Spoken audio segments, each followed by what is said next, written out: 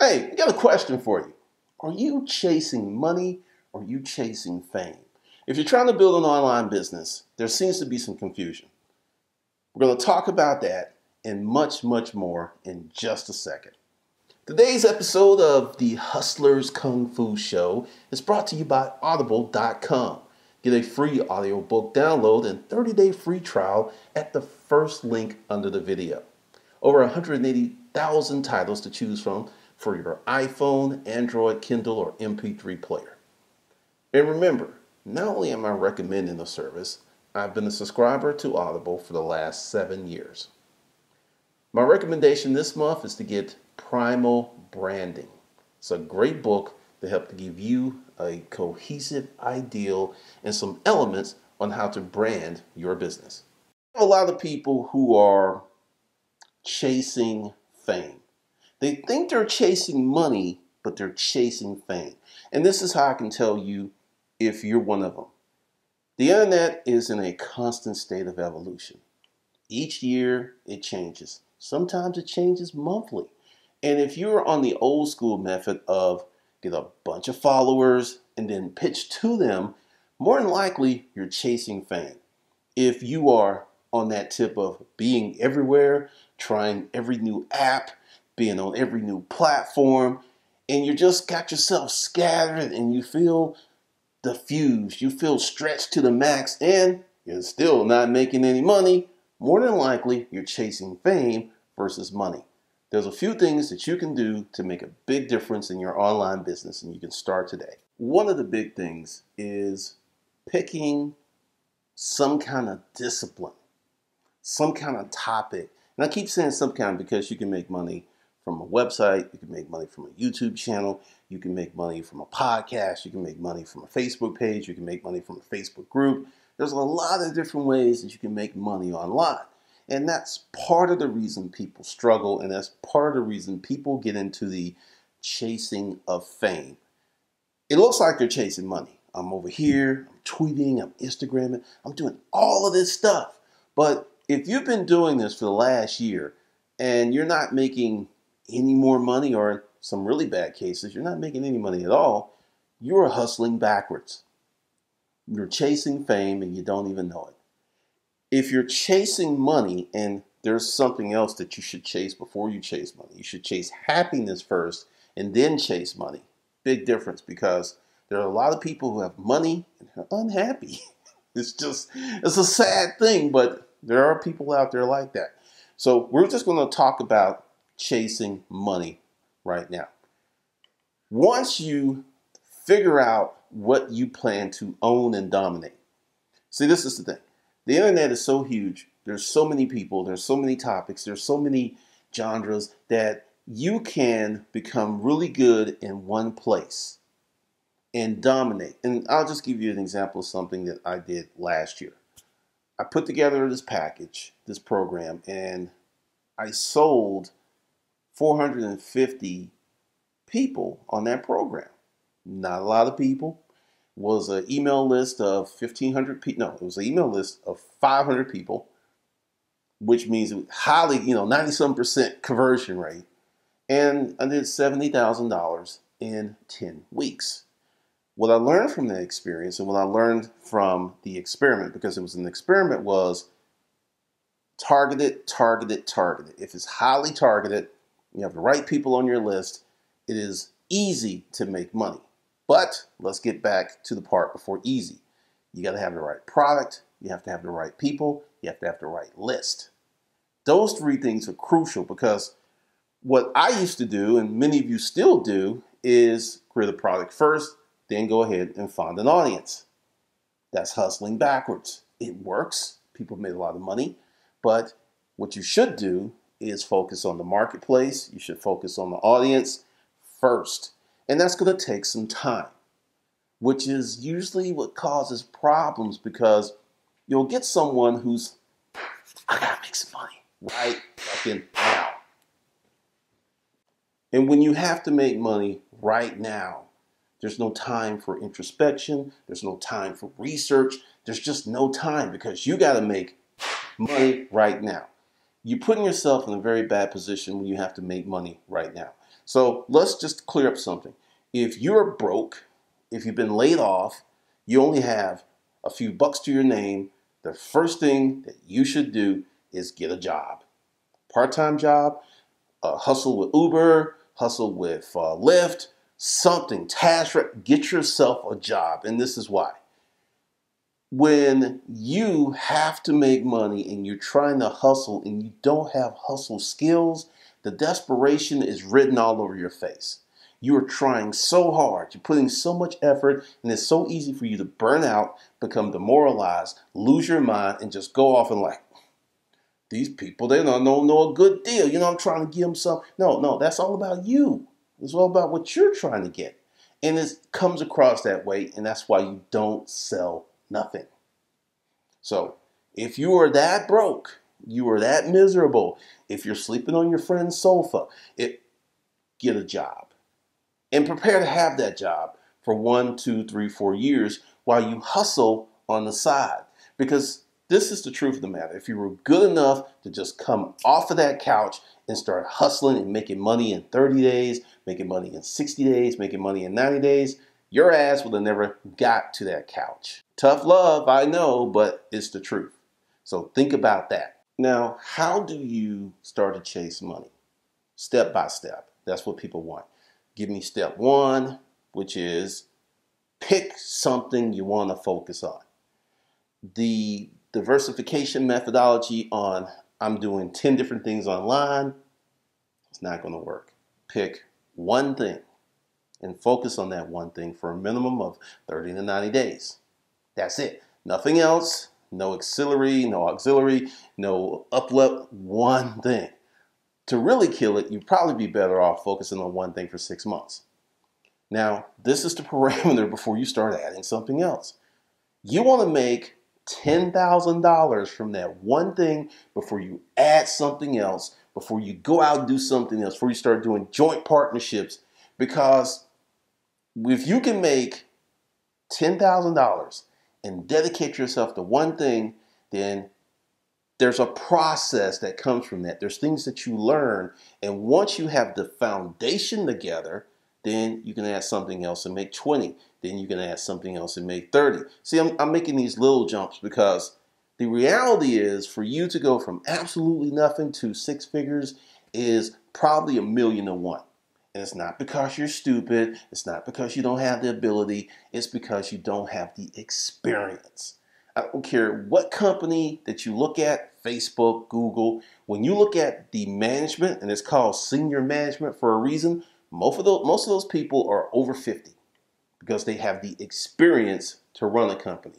The energy that it takes to start a company is vastly different than the energy it takes to run and maintain a company and grow grow as a profitable enterprise. It's different energy. So if you have nothing, you are in startup mode. You're in hustle mode, you're in scaling mode, which is different than making a monthly profit mode. Big difference. So that's one of the reasons that you've got to pick something. Step number two every week you go back over what you did. And if you're not making any money, ask yourself, why? Are the things that I'm doing, are these profit making activities? I had a client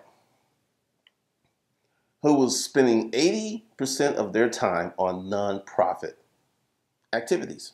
80%. So when I jumped in, and for those of you who want to consult, deal, I'll get into that at the end of the video. I went ahead and got rid of 70% of that 80% of stuff that wasn't working, that wasn't making money. It was working, but wasn't making money. And profitability improved in 90 days tenfold because many people focus their time, like with social media. I'm a member of a lot of masterminds and groups, and I've heard it over and over again, and I've experienced it myself that whenever I put something together, my email list killed it, my group killed it, but social media, mm, not so much conversion because those people don't know you. You got to get you, you got to make love to them, and you're out there killing yourself on social media, and you're just like, okay, I got all these followers, I'm making any money. I'm engaging with all these people, but I'm not making any money. I'm doing all this stuff, but I'm not making any money. And the thing is, you're not focusing on money making activities. So, step three what are money making activities? Because I already know where you're going with that. Things that generate sales. So, you, you got this thing like, we'll just call this the sale. How do you get to the sale? You must have a product or service. You must have marketing that lets people know that you have a product or service. And then you must establish trust. That's kind of it in a nutshell. That's what you got to do. How do you do this? You have a blog, you have a YouTube channel, you have a podcast. These are what I call traffic drivers because if you're brand new, nobody knows who you are, you need something to drive traffic. And then it's going to take time unless you have a lot of money and you can go for paid advertising. And if you got a million dollars, you can blow up online in 30 days. Sure, yep, it can happen. You can create a viral video. Psst, most viral videos are manufactured. Just saying. Oh, those are some of the things. And you have to distinguish between chasing fame and chasing money. Big, big difference because one of the big changes I made in my business was I got rid of a lot of stuff. I, you know, I would measure and audit myself, and I was like, okay, I spend three, four hours here in the Facebook group, and that makes me no money. It got me influence, and it made people happy, but it didn't convert to cash. Three to four hours a day, five days a week. It's 80 hours a month on a non-profit generating activity. Looks good, you know, Facebook group numbers were going up, but when I audit myself, it's like this has got to go. So part of this thing is understanding what makes money for your business could be different than my business, and applying yourself based upon the numbers. Because you know, many people have this thing, I'm going to go with my gut and my intuition, and I believe in intuition and I believe in the gut, but typically Good intuition usually comes from a lot of experience. Good decisions from the gut come from a lot of experience. And a lot of experience usually comes from messing up.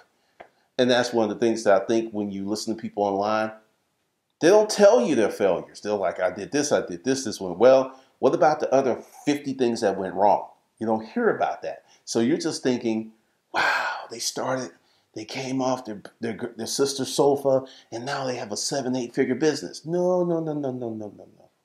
No, no, no, no, no, no. There's a lot more to it because I know some of these people, and I'm not going to get into the name of name, but this is the thing that happens. Just for those of you who are like beating yourself up, and it's just like, here's such and such who's an influencer, and you're thinking that it was an overnight journey. Well, typically, if someone comes out of nowhere, right? And they're everywhere and they're, they're rising and they've got a book on Amazon or they're here or they're on all these podcasts. Typically, somehow, some way, they reached a major influencer. They could be a friend. Their father could be, they could be related. You don't know the backstory. So here's this person who is here, and then they hook up with someone who's here. You can't even see them; they're out the frame. Then all of a sudden, they're here, and it just looks like they had the right strategy. No, influencers are really, really huge. If you have a blogger who has influence, and these people know their power, they know what they can do.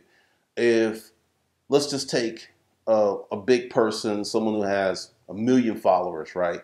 And say they have an email list of 750,000 people.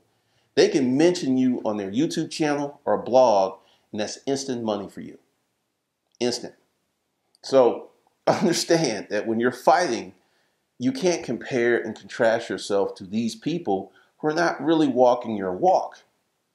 Find someone who had to struggle, find someone who doesn't have this super large business because the reality is anyone in my estimation can start a business that creates a livable income and the livable income is 50,000 or more within 6 to 24 months online from scratch from nothing no extra knowledge no hookup, no influencers, straight from scratch. But you will be hustling your face off. You'll be working your ass off and you're going to be putting in the time.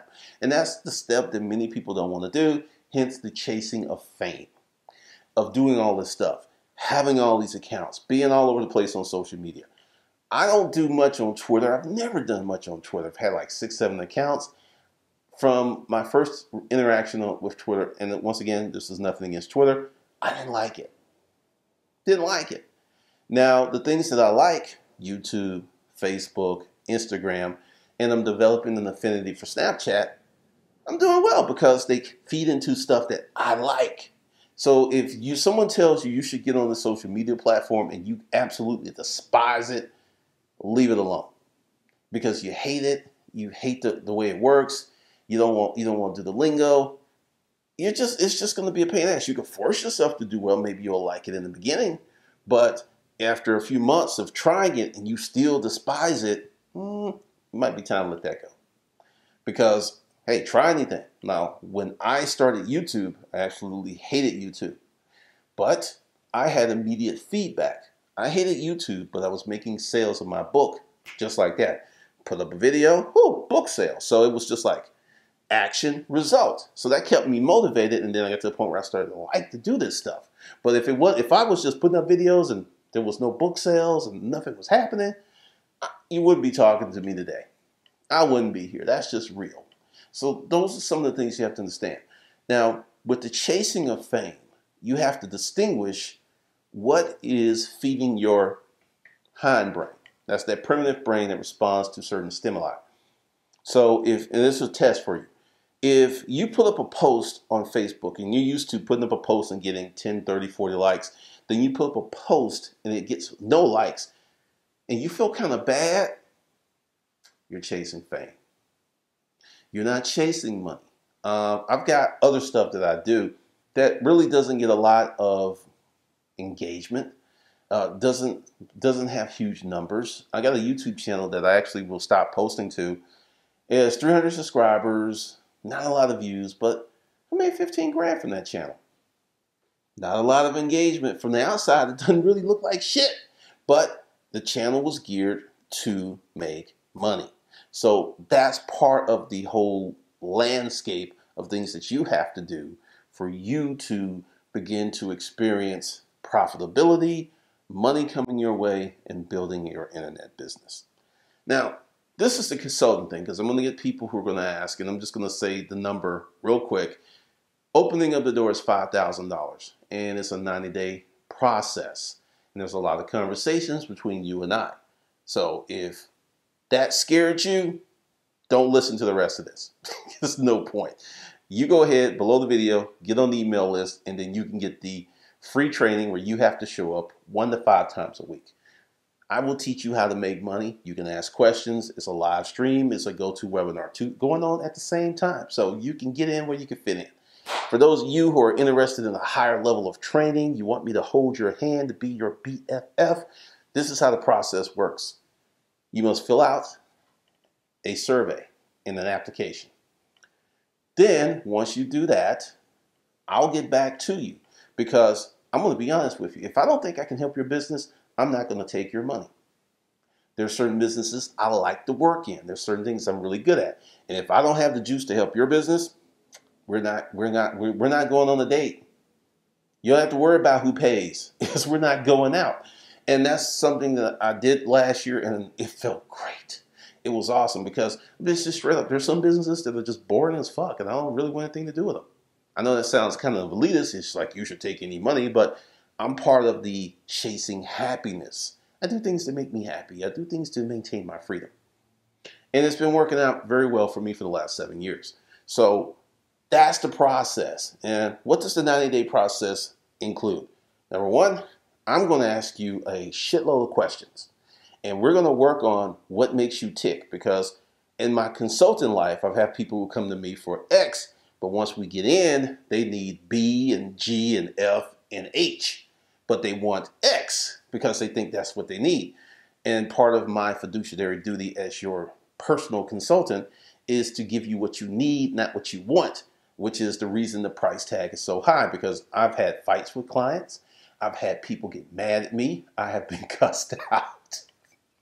and that is fun. It's just like, okay, you got that off your chest, you feel good, get your ass back to work. So that's the new thing. So if you want to, I'll put a link below to the survey and the application. And if that's what you want to do, we'll go from there once you fill out the survey and the application.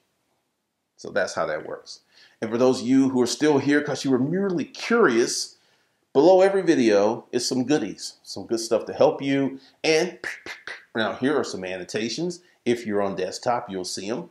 If you're not, there's a little eye. You have to put your finger, if you're on your phone, you have to put it on the screen and the little eye pops up. And then there's some stuff for you there. So if you like the video, subscribe to the channel, get on the email list, do all of that stuff, and I'll see you in the next episode.